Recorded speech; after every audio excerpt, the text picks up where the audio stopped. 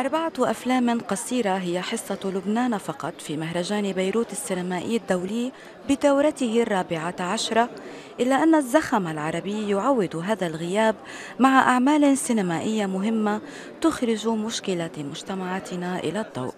نحن صار لنا 17 سنه بس في كم سنه ما عملنا مهرجان لأنه كان في مشاكل.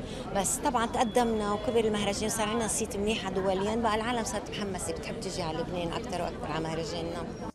تشهد هذه الدورة من المهرجان عودة مسابقة الأفلام الشرقي أوسطية الروائية بعد غياب سنتين. من بين الأفلام المختارة باستاردو للتونسي نجيب بلقاضي والدليل للجزائري عمر حكار وشلاط تونس للمخرجة كوثر بن هنية واسكندرية كعب داير للمخرجة فاتن البنداري وبورتري حسن الشرق للمخرج المصري محمد عصام. صار لنا سنتين بلا ضيف مثل ما بتعرفي. ما حدا يجي لحتى من البلاد العربية. هالسنة كل العالم بدها تيجي على بيروت. من وقت ما تغيرت الحكومة بأول السنة بقى إجينا صار عندنا جو جديد كثير مع إنه الحقيقة الأحوال السياسية بالمنطقة بتخوف لحتى عندنا بلبنان. بس العالم اللي بيحبوا لبنان عم بيسمعوا فيها من سنين. إجوا. عندنا هيك هيك جو. عندنا 80 ضيف. السينما اللبنانية تشارك عبر أربعة أفلام قصيرة هي المرآة للمخرجة الفرنسية اللبنانية سيلين قطيش ومع روحك لكريم الرحباني. بالإضافة إلى بعتذر منك بيروت لأنطوان فاضل ويلدا لرشا فرج. من فرنسا هالسنة اشتراك قوي ستة وعندك من كردستان العراق عندك اشتراك قوي. كردستان العراق وإيران. عندنا أقوى اشتراك ومصر. بس أفلام قصيرة أغلبيتهم.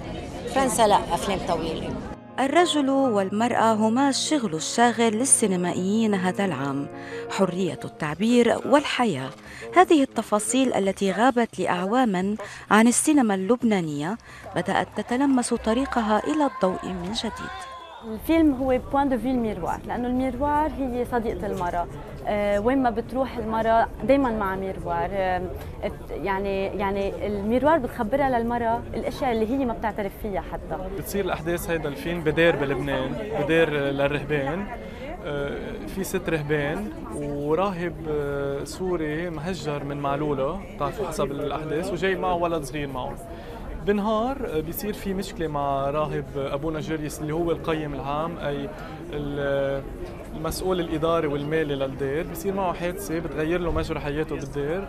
وبيصير آه، بصراع داخلي بينه وبين حاله وبينه وبين هل بيفشي هيدا السر للرهبان ولا بينه وبين ربه الدورة الرابعة عشر من مهرجان بيروت الدولي للسينما احتضنت حوالي 75 فيلما رغم المناخ الذي لا يسمح باحتفالات فنية وإن كانت سينمائية.